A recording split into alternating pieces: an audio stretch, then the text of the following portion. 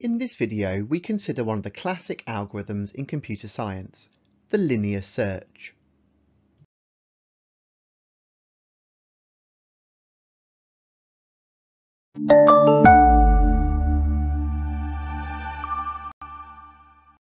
The linear search can be performed on data in memory, perhaps stored in arrays or lists, and data stored in files as well. The algorithm is very straightforward. Starting from the beginning of the data set, each item is checked in turn to see if it's the one being searched for. It doesn't require the data to be in any order, unlike another type of search, the binary search. It will work on any type of storage device and can be efficient for small data sets. However, it's very inefficient for large data sets. If you've watched one of our previous videos on algorithmic thinking, you'd have seen that we used a linear search in that situation. We were trying to find a word in a word search where each letter is stored in a grid. We examined each letter in turn to see if it matched the first letter of the word we were looking for. And if not, we moved on to the next letter and the next and the next until we found a match. This is a classic example of a linear search. It didn't require the letters to be in any order, which is just as well because that's the very nature of a word search. We can apply a linear search to a whole variety of contexts. One might be looking for a particular box of cereal on a shelf in a supermarket.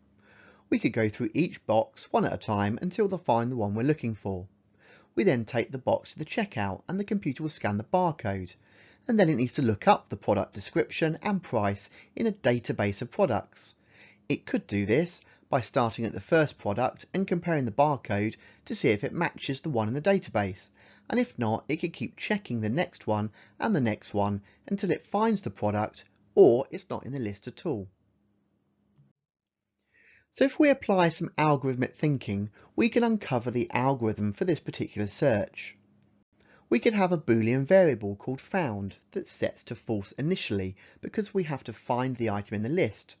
We could then have a variable i, which is the index of the item we're looking for. We could say, while it's not been found and we're not at the end of the data set, check each item in the list.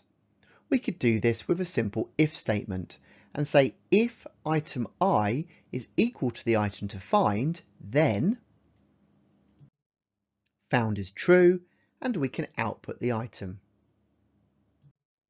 And if not, then we increment i by 1. And keep checking the next item, and then the next, and then the next, until we've reached the end of the list or the item has been found. The specification at GCSE requires you to know the mechanics of an algorithm. You should understand the advantages and disadvantages of using one algorithm over another to solve the same problem. However, at GCSE level, you're not going to be expected to remember the code line for line for a given algorithm. In the rest of this video, we're going to walk through an example of this algorithm step by step. So in Python code, the solution might look something like this. We're storing the data for our products in a two-dimensional list so that we can store the description and the price. We've then got a variable called found which we'll set to false initially and the index of the item to be zero. We're asking the user what's the product they want to find. And whilst that's not been found, and we haven't reached the end of the data set,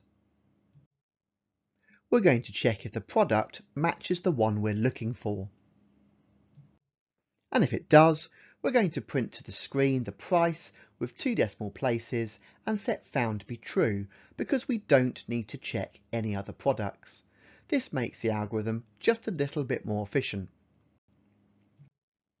If the product was not found, we can increment i by 1.